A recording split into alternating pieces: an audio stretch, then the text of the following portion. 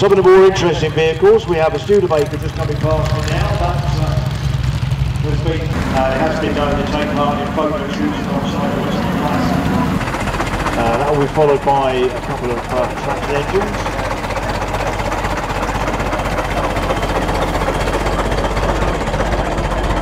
It's just pre-First World War. It's a fairly good example of a three front bar Scotsman. Uh, the livery you can see is uh,